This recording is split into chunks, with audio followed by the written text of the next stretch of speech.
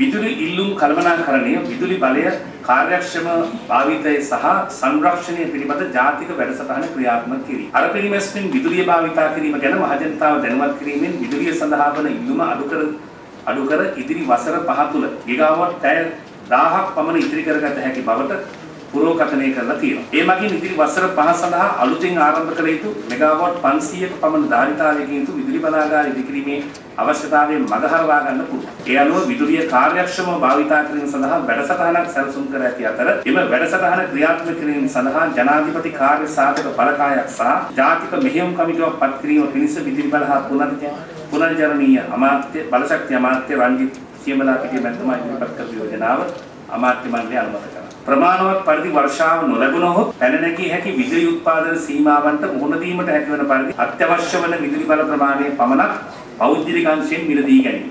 අපේ පද්ධතිය තුළ තිබුණු සැඟවිලා තිබුණු කතා නොකරපු ඉතා බරපතල තාක්ෂණික ගැටලු ඒ වගේම ආයතනික පරිපාලනය පිළිබඳ ගැටලු සමාජයට රජයට නිරාවරණය වෙලා තිබෙනවා. කාර්යක්ෂම රජයක් විදිහට අපි සති දෙකක් වගේ කාලයක් තුල මේ පිළිබඳව විස්තරාත්මක අධ්‍යයනයක් කරලා කරු ජනාධිපතිතුමා අමාත්‍ය අනුකමිටුවක් පත් කරා රංජිත් සියඹලාපිටිය ප්‍රමුඛතුමාගේ මූලිකත්වයෙන් එහි අතුරු වාර්තාව සවිස්තරාත්මක වාර්තාවක් කෙටි කාලීන ප්‍රශ්න වගේම දිගුකාලීනව කළ යුතු නමුත් වහාම ආරම්භ කළ යුතු පියවර පිළිබඳව එහි දක්වලා තිබෙනවා. සී මාලියත් මැතිතුමාගේ මූලිකත්වයෙන් යුතුව ගෞරව අග්‍රාමාත්‍යතුමා විසින් පත් කරපු විශේෂඥ කමිටුව මේ වාර්තාවල ඉදිරිපත් කරලා තිබෙනවා. ඊයේ දින අමාත්‍ය මණ්ඩලය මේ සියලු වාර්තාවන් සලකා බැලුවා. තාම පියවර ගන්නා ලෙසට අපිට නියම කරලා තිබෙනවා අපේ රටේ පුරවැසියන්ට ඉහළ ගුණාත්මක භාවයෙන් යුතු විදුලිය සේවාවක් අඩුම මිලකට ලබා දීම තහවුරු කරන්න අවශ්‍ය පියවර ගන්න. මොකද මේ විදුලි උත්පාදනය කියන කාරණය ඉතාම මිල අධික කාරණයක්. තාප බල උත්පාදනයක්. ඒ වගේම හදිසි මිලදී ගැනීමත් කියන මිල අධික කාරණා. අප්‍රේල් 15 වෙනිදා යලකන්නේ සඳහා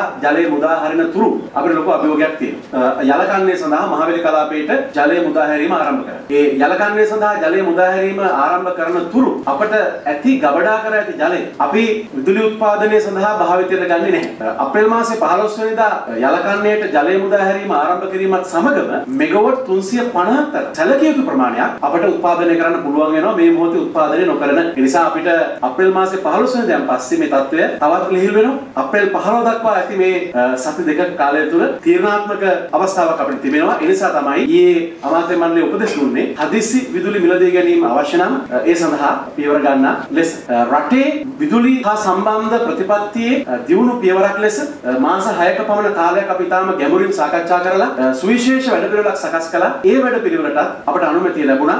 විදුලි ඉල්ලුම් කළමනාකරණය, විදුලි බලය කාර්යක්ෂම භාවිතය සහ සංරක්ෂණය පිළිබඳව ජනාධිපති කාර්ය සාධන බලකාය ප්‍රෙසිඩෙන්ෂල් ටාස්ක් ෆෝස් ඇති කිරීමට ඊයේ අමාත්‍ය මණ්ඩලය අනුමැතිය දුන්නා. ජාතික මෙහෙයුම් කමිටුවක් පත් වෙනවා මගේ මූලිකත්වයෙන්. ඒ ජාතික මෙහෙයුම් කමිටුව මෙම විදුලි ඉල්ලුම් කළමනාකරණය, විදුලි බලයේ කාර්යක්ෂම භාවිතය සහ සංරක්ෂණය පිළිබඳව පූර්ණ කාලීනව කටයුතු කරනවා. මෙගාවොට් 55ක හදිසි විදුලි බලය මිලදී ගැනීමට අපි බලාපොරොත්තු වෙනවා දැනට. එය විශාල ප්‍රමාණයක් නෙවෙයි සාපේක්ෂව අඩු ප්‍රමාණයක්.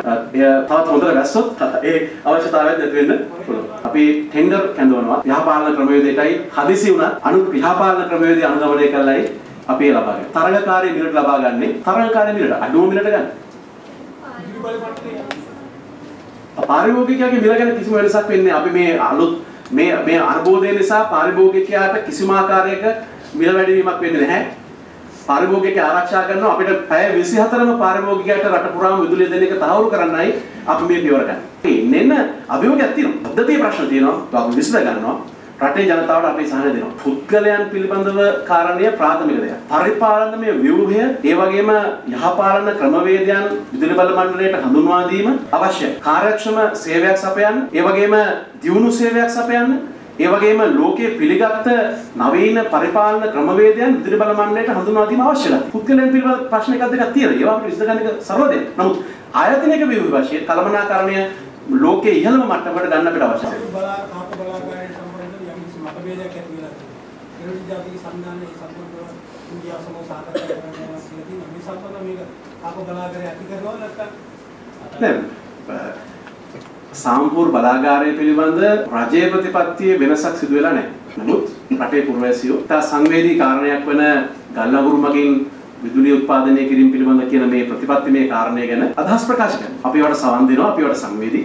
ඉදිරියේදී අපි ගත යුතු හොඳම ක්‍රියාමාර්ග ගන්නවා. ආණ්ඩුව අහක බලාගෙන ජාතික ආරක්ෂාව බරපතල අනතුරක කියලා ජී.එල්. පීරිස් මැතිතුමාලා වැනි අය ඊයේ ප්‍රවෘත්ති සාකච්ඡාවක් කියලා තියෙනවා. ආණ්ඩුව අහක බලාගෙන ඉන්නවා නම් මේව හොයාගන්න පුළුවන් කමක් ලැබෙන්නේ නැහැ. කට්ටල වගේක් සොයා ගැනීම පිටින් පිට යුද්ධය අවසන් වුණායින් පස්සේ පිටින් පිට මේවා අ, පතුරුමක් හොයාගන්න ඒවා ඇඳුම් කට්ටල හොයාගන්න ඒවා නොඑක් ඒවා හොයාගෙන තිබෙනවා. මේ සොයාගත්ත ඒවා පරණ ඒවාද අලුත් ඒවාද කිසිවක් පිළිබඳ තාම පරීක්ෂණ වාර්තාවක් එන්නත් පෙර මහාචාර්ය ජී.එල්. පීරිස් මැතිතුමා කියලා තියෙනවා සොයාගත්ත පුපුරන ද්‍රව්‍ය වැල්ලවත්තට ගෙනීමේ සූදානමක් තිබුණා කියලා තොරතුරු තියෙනවා. ඊයේ මාධ්‍ය සාකච්ඡාවක් කියලා එතුමා කියනවා මේ පිළිබඳ එතුමාට තොරතුරු ලැබිලා තියෙනවා කියලා මේවා වැල්ලවත්තට ගෙනියන්න තිබුණු ඒවා කියලා. එහෙනම් අද එතුමා කියනවා මේ පිළිබඳ රජය පරීක්ෂා කරලා තොරතුරු ලබා දිය යුතුයි කියන. තොරතුරු ලබා දිය යුතුයි. පරීක්ෂණ කොහොමද කරනවා? හැබැයි ආරක්ෂක ලේකම්තුමත් ඉන්න වෙලාවේ අපි සාමාන්‍ය පුරවැසියෙක්ට මම යෝජනා කරනවා මහාචාර්ය ජී.එල්. පීරිස් මැතිතුමාගෙන් මේ තොරතුරු පිළිබඳව ලබාගත යුතුයි අ, පරීක්ෂණයක්. එතුමාගෙන් ප්‍රශ්න කළ යුතුයි මේක. එහෙනම් මේ වෙලාවේ එතුමා කෙලින්ම කියනවා වැල්ලවත්තර ගෙනියන්න මේක සූදානමක් තිබුණා කියලා අපට තොරතුරු ලැබිලා තියෙනවා කියලා. දැන් මේකයි මේ අර විවිධ තැන්වලදී ගත්ත ආයුධ සම්බන්ධව එක්කෙනෙක් අත්තරම් කොටවත් විවිධ තැන් වල තිබුණ ආයුධ කිව්වේ ඔව් ඔව් ඔව් ඒකේ තව චෝදනාවක් තියෙනවා ඒක දිනලා තියෙන්නේ ජනාධිපතිතුමාට ජනාධිපතිතුමා මරන්න කියලා කතාවක්. ඒ ගැන නැති මම දන්නේ නැහැ ඒ මම දන්නේ තමුන්නාස් දන්න තොරතුරුවත් මම දන්නේ නැහැ ජනාධිපතිතුමා මරන්න ගෙනාවද තව මේ වෙන ටැග් එකකට ගෙනාවද කියලා.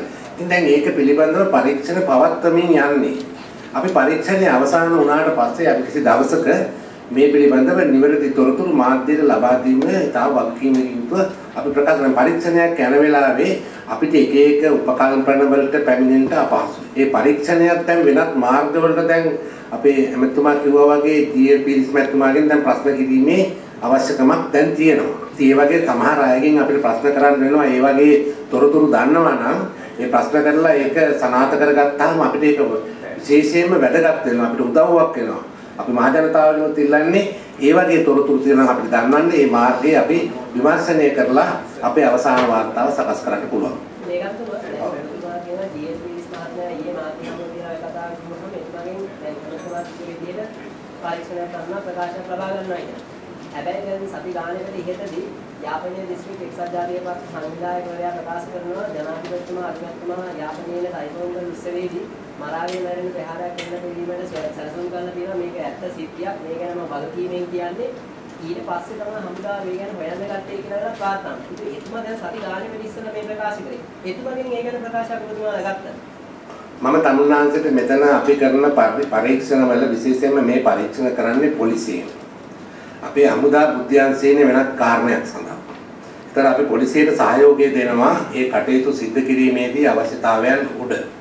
ඒක නිසා මේ හැම කාරණයක් පිළිබඳ තමුන්නම් සඳහන් කරපු කාරණේ පිළිබඳව අපිට දැනට වාර්තා වෙලා තියෙන දි වාර්තා බලලා අපි නිර්දේශ කරනවා මෙතනින් එහාට මේ කාරණේ කරන්න කියලා.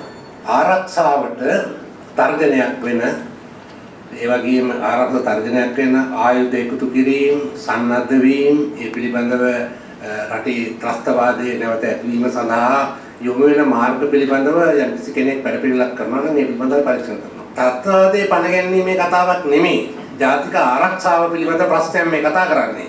ත්‍රස්තවාදයේ කියලා පණ ගැනීමේ කතාවේ මේ සටන් පාටේ හොඟ දෙනෙක් ගෙනියනවා. මෙම හිසෝසෝනවා කියලා. හිස එසෙව්වත් අපි සූදානම් ඒකට.